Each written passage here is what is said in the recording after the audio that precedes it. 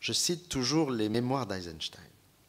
Le deuil devant le corps de Vakulinchuk faisait écho aux innombrables cas où les obsèques des victimes de la Révolution sont devenues une manifestation enflammée et le prétexte à des bagarres et à des répressions atroces.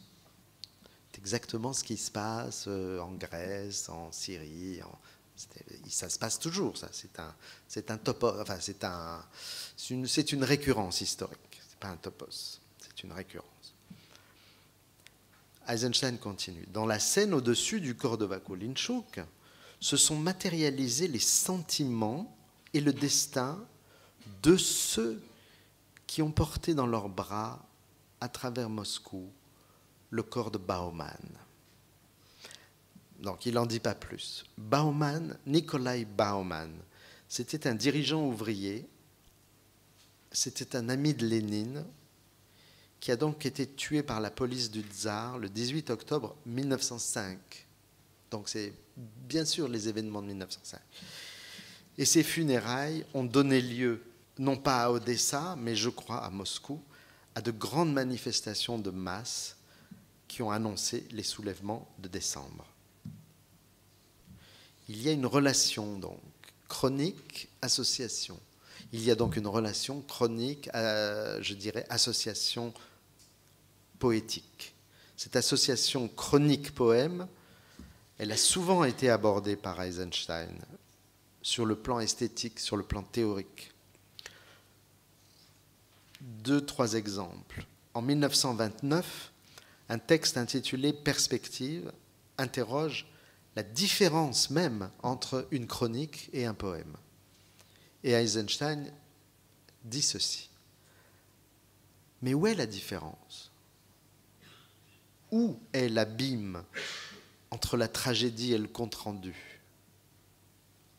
Pour autant que le sens des deux consiste à faire cabrer le conflit intérieur, qu'est-ce que c'est beau ça? Faire cabrer le conflit intérieur, et par une solution dialectique, à fournir aux masses spectatrices une nouvelle incitation à l'action et un nouveau moyen de vie créative.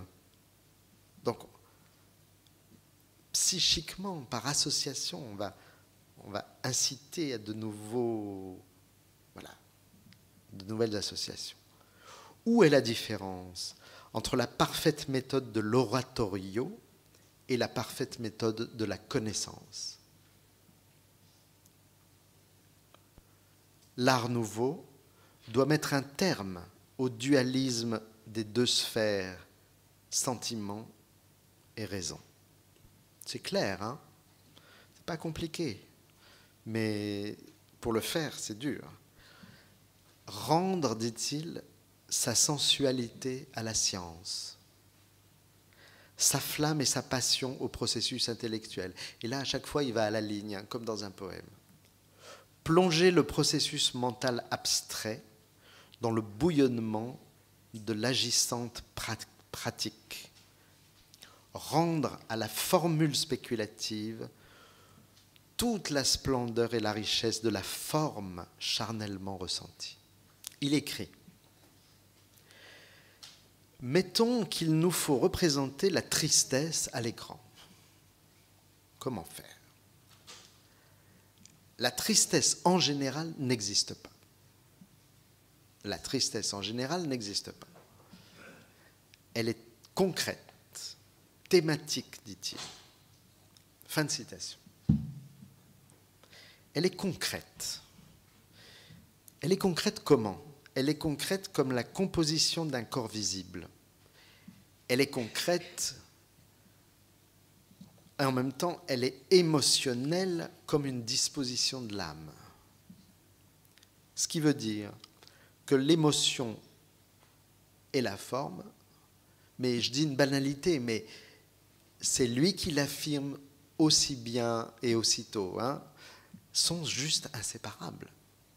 Donc, euh, révoquer l'émotion n'est pas cohérent. tout ce que Eisenstein va développer dans un troisième texte fameux, énorme, magnifique, le fameux texte sur l'organique et le pathétique, euh, qui va préciser justement sur l'exemple du cuirassé Potemkin comment la chronique des événements est construite comme un drame. Et un drame, ce n'est pas une chronique. Dans tous les cas, on ne peut pas dire qu'une chronique soit objective. Les petites citations que je vous ai faites de cet historien anglais montrent bien qu'il n'est pas objectif. Où est-ce qu'il a vu que les foules étaient une meute hurlante? Il l'a jamais vu. Il ne peut pas tirer ça d'un témoignage. Il l'imagine complètement, comme font tous les historiens. Donc, il a fait une chronique, très bien, mais ne disons pas qu'elle est objective. Eh bien, faisons la même chose avec le pathos dans l'autre sens. Ne disons pas que le pathos est subjectif, unilatéralement. Il faut, il faut travailler l'un avec l'autre. Il faut faire que l'un n'aille jamais sans l'autre. Il faut faire qu'il y ait un pathos de l'histoire. Et il faut faire qu'il y ait une objectivité du, euh, une objectivité du drame psychique, par exemple. Il faudrait dire quelque chose comme ça. J'ai oublié de vous donner un détail euh, qui montre bien, ce détail montre euh, ce que la représentation, avec sa logique euh, donc épique ou tragique, enfin on va voir comment, dans quel genre ça se situe, mais quelque chose qui, doit laisser de côté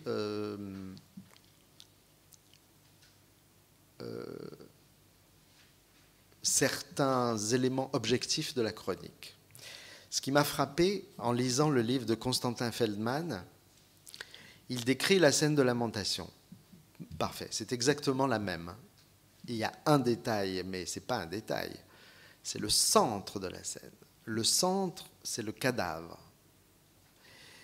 Et Feldman dit, eh bien en fait, euh, ce cadavre était horrible à voir. Il était tout noir et il était déjà décomposé. Donc, Là, évidemment, euh, on ne va pas aller jusque-là. Mais c'est très intéressant de, savoir que Eisenstein savait ça. Bien sûr, Feldman était en face de lui, il avait lu son, son, livre. Bien plus tard, à la fin de sa vie, dans ses fameuses notes pour une histoire générale du cinéma, et si ça vous intéresse, vite, vite, procurez-vous ce livre parce que, comme tous les livres d'Eisenstein euh, que je connais, euh, ils disparaissent des librairies euh, malheureusement assez vite. Voilà. Dans ces magnifiques, ces magnifiques notes pour une histoire générale du cinéma, Eisenstein écrit La chronique, c'est le. Il écrit ça en anglais, forerunner, c'est le précurseur du film artistique. Il y a un lien immédiat entre eux. Ça va de l'un à l'autre il dit, du point de vue historique, c'est ainsi que se forme le cinéma, c'est-à-dire le mouvement chronique-art. Les débuts, dit-il, deux points, Potemkin. Donc, il revendique son film. Hein. et il dit, ainsi, j'ai fait exploser de l'intérieur la ligne ou la tradition de la chronique et du document. Et du document. Et je l'ai repensé avec une nouvelle expression qualitative. C'est-à-dire, euh, c'est de l'intérieur que ça se passe. Nous sommes dans une problématique euh, historienne, historique, même documentariste jusqu'à un certain point, mais elle explose de l'intérieur. Comment faire exploser de l'intérieur, comme il dit? Cette forme traditionnelle de la chronique. Je vais prendre un exemple qui me semble absolument significatif et en plus il est intéressant dans la mesure où il est, euh, disons qu'il n'apparaît pratiquement jamais dans le souvenir que les spectateurs peuvent avoir du, du film d'Eisenstein. Disons que j'appellerais ça le motif juif dans le déroulement de la scène qui nous intéresse.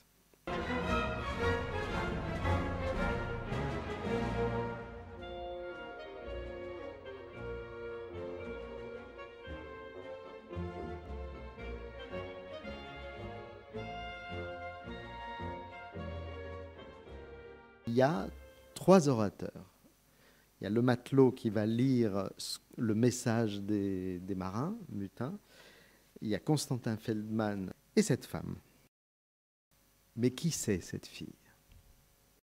Eisenstein a laissé des notes de ce qu'il appelait typage. Typage, c'était une façon, en fait, de. C'est ce qu'on appelle casting aujourd'hui.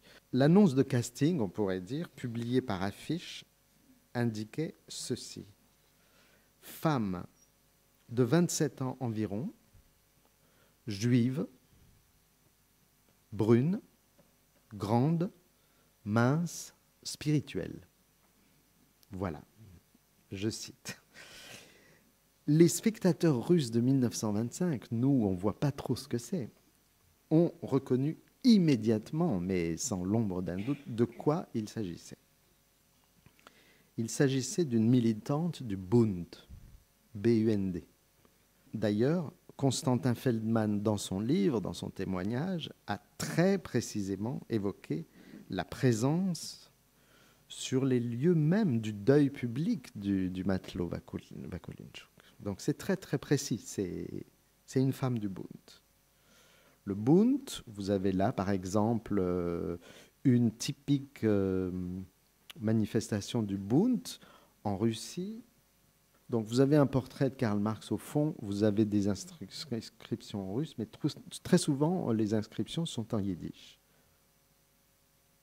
Ici aussi, c'est une autre manifestation du Bund euh, de la même année 1905. C'est un aspect absolument fondamental des événements d'Odessa de 1905. C'est un aspect fondamental, mais ce n'était pas l'aspect euh, qu'on demandait à Eisenstein. Mais Eisenstein en savait l'importance. Donc, qu'est-ce qu'il fait? Il va le condenser à l'extrême en quelques plans.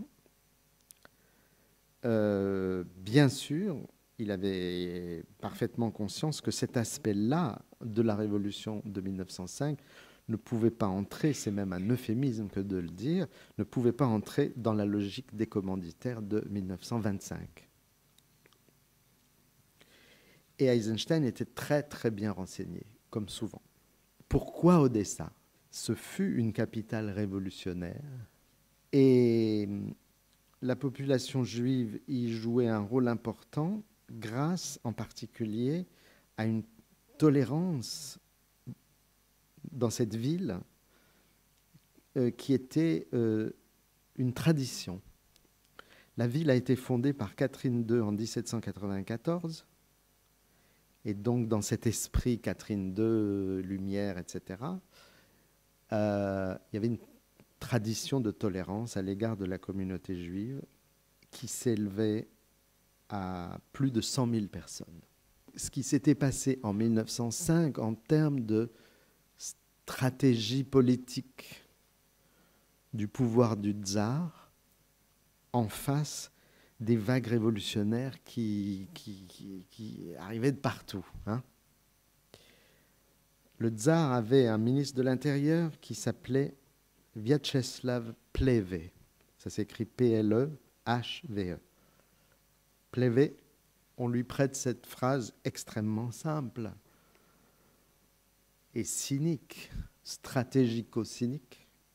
Il a dit Ne vous en faites pas, cette, cette révolution, on va la noyer dans le sang des Juifs ce qui était en effet une stratégie assez hum, répandue, connue, qui était donc tout simplement de détourner la colère des classes populaires, si vous voulez, des gens qui se soulevaient, de les détourner sur, euh, disons, l'image du juif, le juif, celui qui a de l'argent. Alors, absolument liés euh, et même créés par la police du tsar, sont apparus ce qu'on appelait les ceinturies noires. C'était des milices ultranationalistes dont a été inventé, hein, c'est en 1905 que ce fameux texte a été inventé, qu'on appelle les protocoles des sages de Sion. C'est là, c'est une stratégie anti-révolutionnaire que d'avoir inventé cette théorie du complot, donc dans des milieux à la fois de la police du tsar et proche de ces milices ultranationalistes. Vous aurez remarqué tout en haut euh, l'emblème de la SS nazie est calqué sur, euh, vous savez, la, petite tête de mort euh, noire et blanche. là. C'est tout à fait des ceinturines noires au SS, c'est le, même, le même sigle, si vous voulez cette situation qui ne va ne faire que se développer et se radicaliser, euh, eh bien, elle va par contre-coup développer et radicaliser des mouvements de l'extrême gauche juive, à commencer par le Bund. Donc le Bund est une organisation qui est née en fait dans la clandestinité en 1897. Et je répète, sa participation au soulèvement de 1905 est absolument absolument capital. C'est un groupe armé.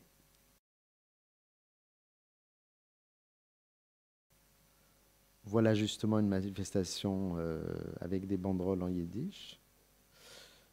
Ça, c'est un groupe de bundistes, ils sont tous en prison là. C'est une photo de groupe prise dans une prison. Ça, c'est le type de, publication qu'ils faisaient. Donc Eisenstein, il sait très bien tout ça. Il sait parfaitement tout ça. Euh, il sait même probablement euh, via Babel ou via euh, qu'en fait, si on regarde en 1905, le Bund compte 30 000 militants. C'est considérable.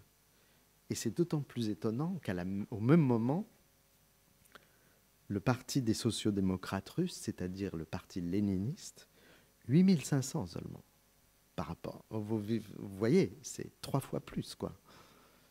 Donc leurs actions pendant la révolution de 1905 ont été absolument décisives, non moins qu'en 1917 d'ailleurs aussi. C'est comme s'ils étaient, euh, peut-être, j'exagère un peu, à l'avant-garde de l'avant-garde bolchevique, avec des, bien sûr des d'énormes dissensions, des discussions, des, euh, voilà, notamment euh, entre le Bund et Trotsky sur la question de la nationalité juive. la, la, dernière fois, vous vous souvenez, j'ai signalé comment Eisenstein disait, mais quand, quand, quand j'ai filmé la scène de lamentation de Vakulinchuk, en fait, il y avait derrière, j'avais plein de, de, souvenirs derrière moi, et notamment les, les obsèques de Bauman à Moscou. Donc, il y a les obsèques de Bauman à Moscou, mais il y a aussi, d'une certaine façon, derrière sa tête, les victimes des pogroms d'Odessa, que les membres du Bund eurent à pleurer et ce que vous voyez là, ce sont trois morts des pogroms d'Odessa, euh, avec cette photo incroyable, parce que c'est une photo vraiment de groupe, quoi, cette espèce d'obsèque de groupe de trois victimes des pogroms d'Odessa. Discours enflammé de la jeune femme. Donc qu'est-ce qui se passe? Il y a un contre-champ. Le contre-champ, c'est ce type-là. Alors ce type, je dis ce type, euh, je ne crois pas si bien dire, c'est, il est typique, il a été typé par, euh, Eisenstein selon son propre vocabulaire, c'est un membre des ceinturiers noires. C'est un mec d'extrême droite, quoi. Voilà. Alors, rien n'est étonnant. Rien n'est étonnant. Chant contre chant, elle continue de parler, il continue de se gosser, elle continue de parler et puis il a l'air de dire quelque chose. Et ce quelque chose, voilà le carton, ça se traduit par mort au. Euh, le carton, en 1950, bien plus tard, 25 ans après le film, il avait disparu il est clair que Staline a coupé, enfin Staline, la censure stalinienne, a coupé le carton. Donc, quand je vais vous remontrer la scène, vous allez voir, s'il n'y a pas le carton, on comprend rien du tout. Au moment où il a dit ça, les gens se retournent, vous allez voir, c'est assez beau, et puis il se fait lyncher. Donc on peut dire que ce carton, ou cette parole, ou cette réaction, en fait, du peuple à cette parole, qui est une parole donc typique de la stratégie du ministre euh, du tsar. Il essaie d'attirer l'agressivité sur la juive. L'émotion passe à l'émeute au moment même où on refuse aux ennemis de classe la possibilité de croire que l'ennemi, en fait, c'est une autre race.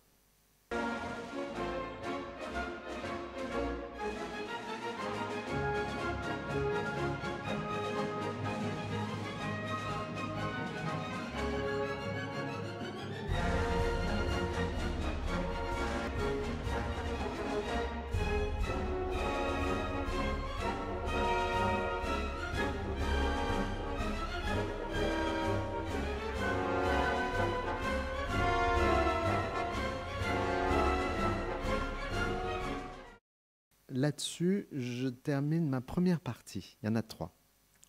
À, poser des éléments historiques, à, voir comment, qui sont les acteurs de cette histoire, comment ça se passe euh, entre l'émotion et l'émeute, etc., etc. Donc maintenant, je vais passer à un autre euh, moment que j'intitule Montage des affections.